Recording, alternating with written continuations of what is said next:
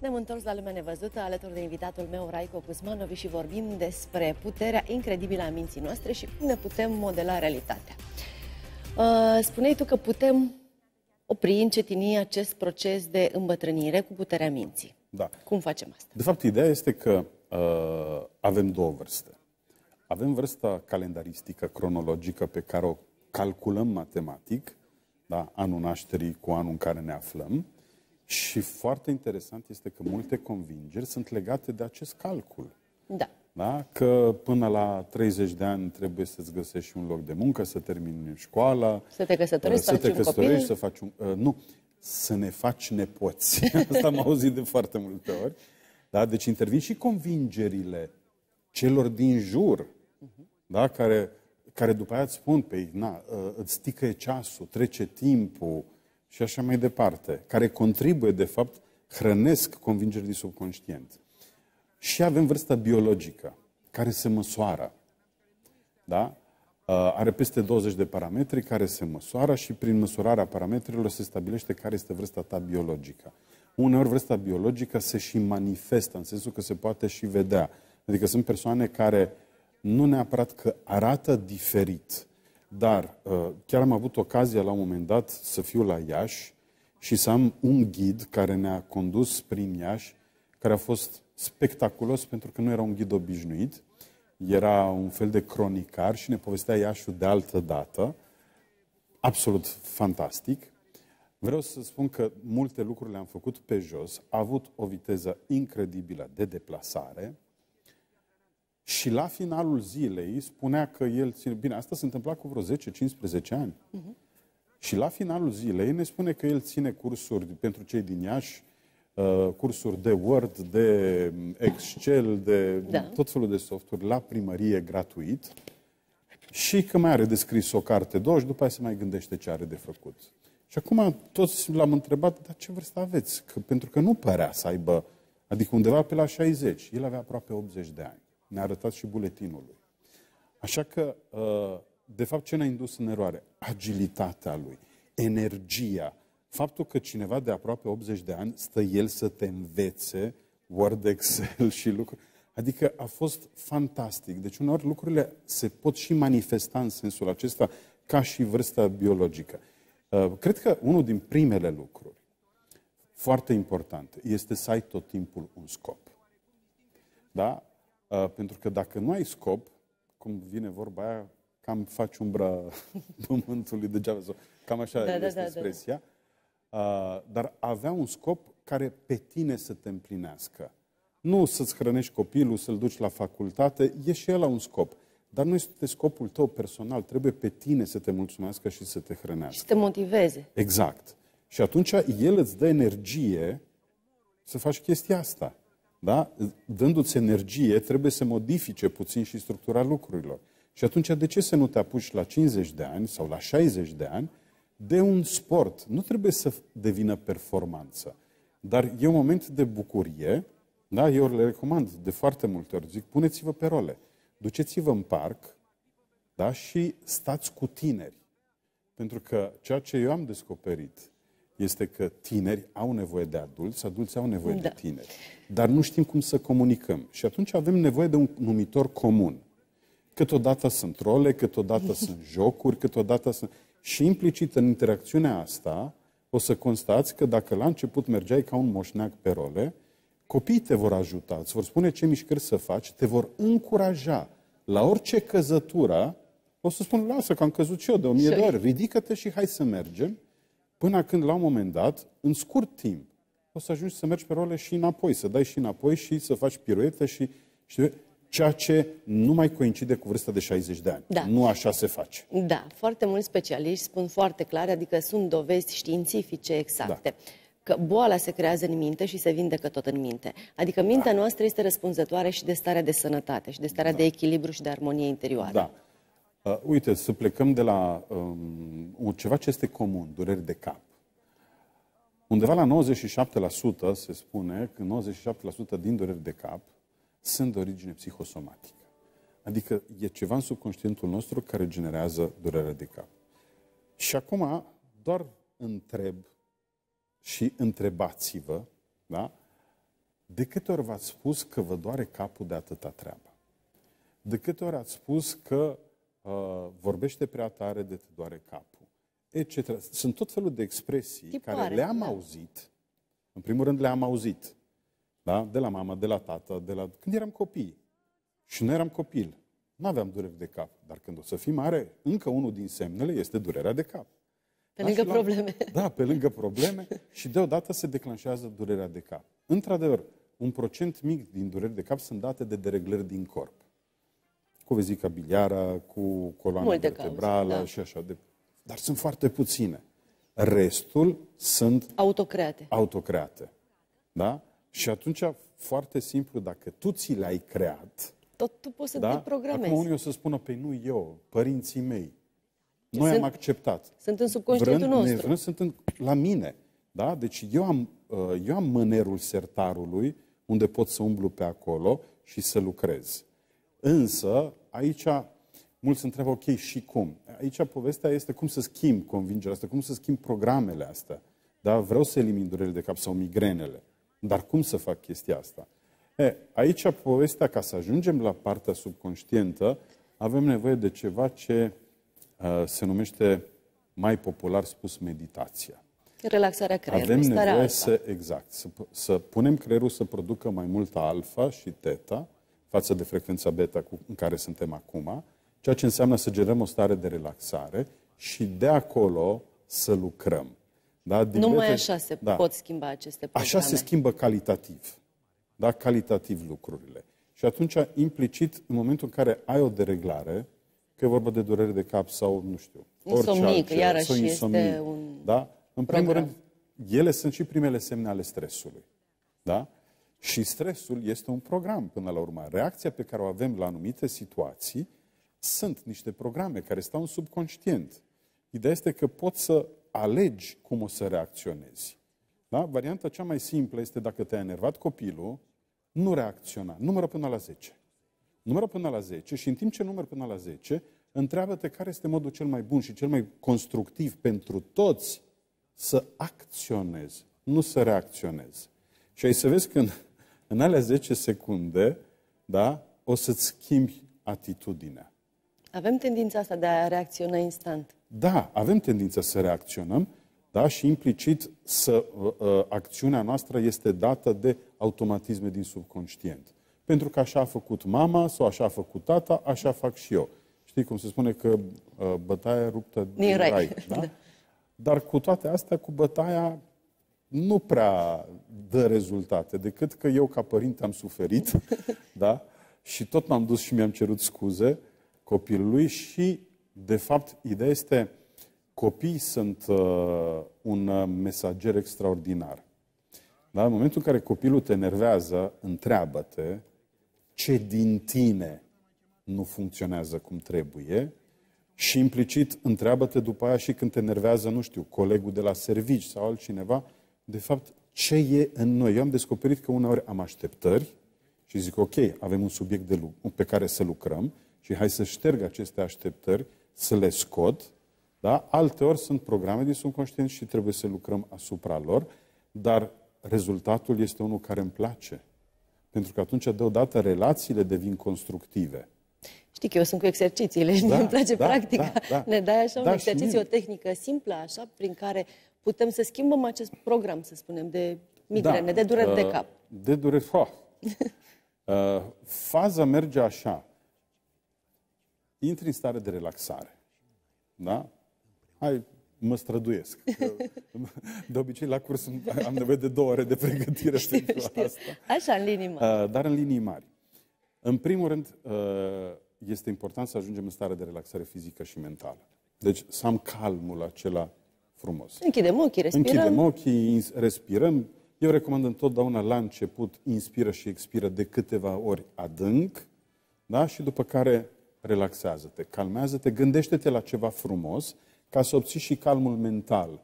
De ce? Pentru că uneori există o diferență. Sunt calm fizic, dar gândul îmi zboară dreapta-stângă. Și atunci propun întotdeauna oamenilor, gândiți-vă la ceva plăcut, frumos. Nu știu, sunt pe plajă, un- am fost în vacanță recent, de exemplu, și atunci îmi imaginez că sunt pe plajă și totul este ok. Și atunci când ai și calmul mental, da? ai și calmul fizic, atunci, le, atunci îți spui că o să numeri de la 1 la 5 și la 5 nu o să mai ai durerea de cap.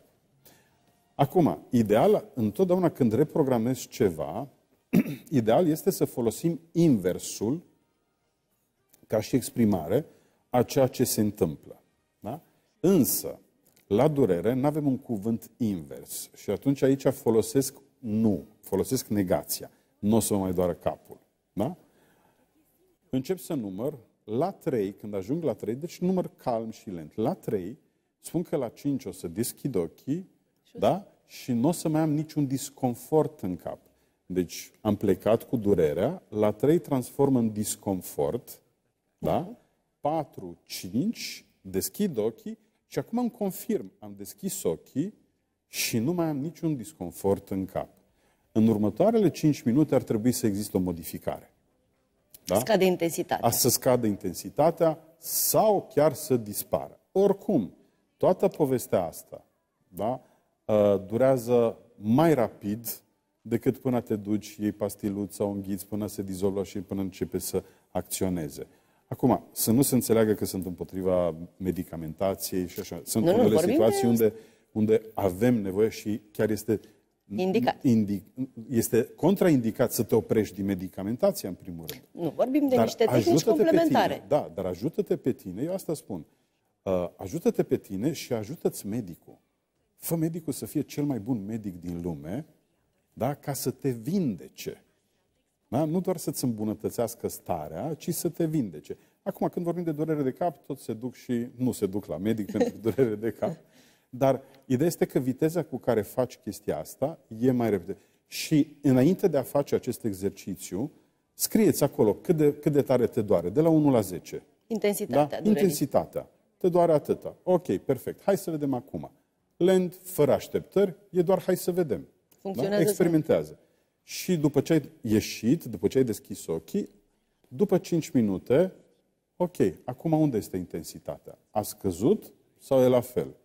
Da? Dacă e la fel, repetăm încă o dată. Dacă scăzut și nu ești mulțumit, mai fă o dată, tot așa plecând de la durere, pentru că acum pleci de la o durere mai scăzută, da? până la disconfort și anularea, eliminarea disconfortului. Și aceasta este tehnică pentru a lucra pe fiecare convingere până la da, urmă. Da, și atunci principiul este să intru în starea de relaxare, să deschid ușa subconștientului, că acolo, în starea aia, ușa subconștientului este deschisă, și să încep să lucrez pas cu pas cu una și cu alta. Așa îmi pot crea convingeri noi, respectiv îmi pot crea, uh, nu, nu neapărat convingeri noi, ci uh, uh, um, obiceiuri noi. Da? Uh, care se creează pe baza convingerilor. Care se, da, care după aia devin convingeri. De exemplu, sunt foarte multe persoane care au uh, benzi de alergat sau biciclete în casă, care devin iminent Uh, suport pentru haine. Suport pentru câini, Cunoaștem. pentru, uh, sau uh, asta de agățat haine și așa mai departe. Eu spun că persoanele alea sunt foarte bogate, își permit un cuier foarte scump. Dar de ce, de ce am renunțat? Pentru că nu am creat obișnuință. Și atunci obișnuința se creează pas cu pas. Cum? Din nou, te duci în subconștientul tău și acum creezi imaginea cu bucurie a faptului că ai mers pe bicicletă jumătate de oră. Mai apare un element nou în acest proces, da. imaginația sau vizualizarea. Exact, vizualizare. Da? Vizualizare. Imag- imageria ghidată este una din, hai pot să-i spun, armele, da? Un, unul din instrumentele extraordinare. Da? Chiar imageria ghidată și imaginația în sine da, sunt extrem de eficiente. Extrem de eficiente pentru că altfel emisiunea asta n-ar exista și toată tehnologia asta este rodul imaginației. Bun. Și atunci îți imaginezi, vizualizezi cum nu ești pe bandă sau pe bicicletă, ci cum cu multă mulțumire povestești cuiva Wow, că astăzi am stat jumătate de oră pe bandă. Ce bine mă simt. De ce? Pentru că experiența noastră nu e pozitivă. Prima dată când ți-ai luat acel, a, a, acea, sculă, acea bicicletă, ai tras tare de ai făcut febră musculară și ce a zis subconștientul? Nu ne place durerea. Cui place durerea? Nu vrem. E, practic, pe de altă parte, adică obiectiv, ce mai am de făcut? Este de fiecare dată, pas cu pas, să uh, mă împrietenesc cu bicicleta, astfel încât subconștientul meu să nu simtă că fac ceva ce lui nu-i convine. Și asta înseamnă să încep cu puținul. Două minute, trei minute. Stai pe bicicleta, pedalezi puțin, te-ai dat jos. Oricum, oricum, în momentul în care ai stat trei minute și ai pedalat lejer, ai făcut mai multă mișcare decât ieri. Că ieri n-ai făcut-o. Și uite, așa putem lucra pe fiecare eveniment pe care vrem Absolut, să-l schimbăm. pe fiecare. Dar, știi, oamenii vor rezultate imediat, Rapide. rapide. Pe cum? Dar așa, deodată, problema aia mi-a apărut rapid. Nu. Singura diferență este că tu nu ți-ai dat seama procesul care l-ai folosit ca să se creeze acel eveniment. Da? Așa și fumători.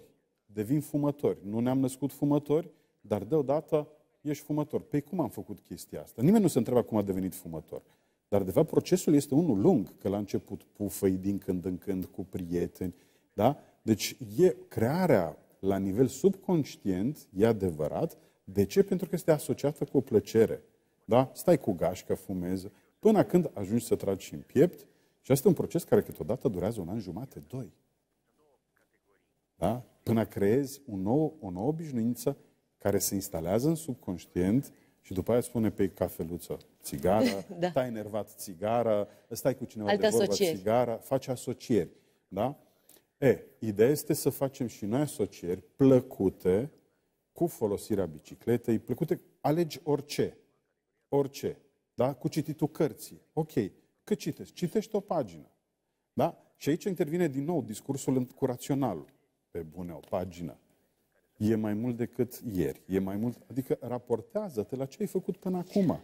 Tu ne sugerezi să începem cu pași mărunți și să nu avem Da, așteptări. dar programând și din subconștient. Evident. Da? Acolo e secretul, de Da, fapt. Ăsta da, este marele da. secret. Până Exact, la urmă, exact. pentru materializarea Folosind dorințelor. vizualizare și imageria ghidată, da?